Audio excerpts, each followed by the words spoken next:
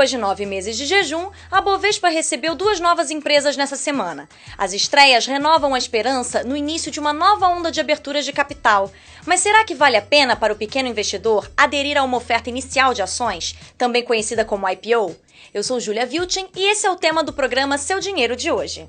Amplamente divulgados no mercado e nos meios de comunicação, os IPOs podem causar frisson quando a empresa em abertura é muito badalada.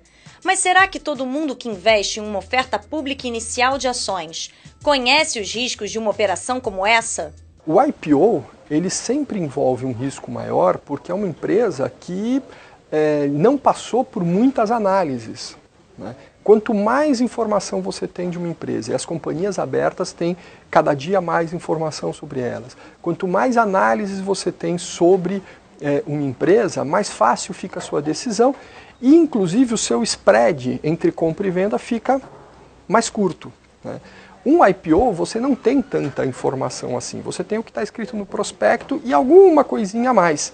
Então, a análise é menos é, transparente né? e o risco vai ser maior, obviamente.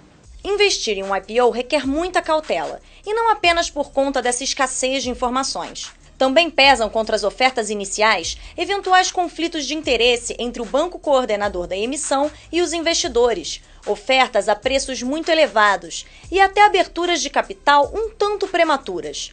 Como resultado, muitas empresas estreiam na bolsa com o preço de suas ações em queda e outras começam a amargar perdas poucos dias depois. Dentro do prospecto, a política de remuneração eh, dos participantes, dos distribuidores, é declarada. Tá?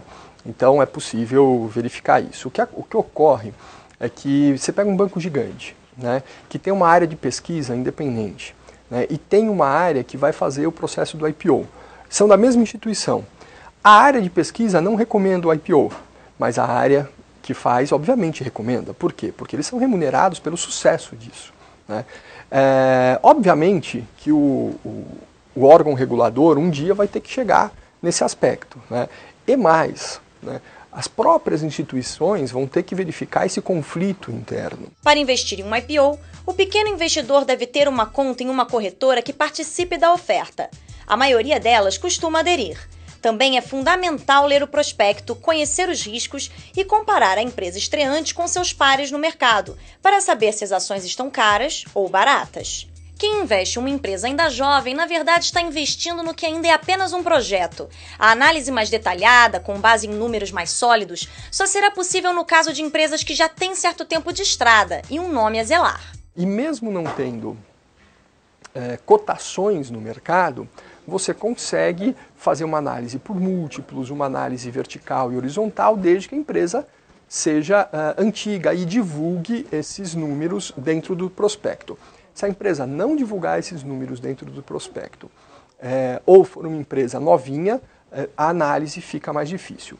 E por análise técnica, análise gráfica, é impossível é, fazer um, um, uma estimativa se é um bom ou um mau negócio, porque a análise gráfica ela depende de cotação em bolsa e volume negociado para gerar algum resultado.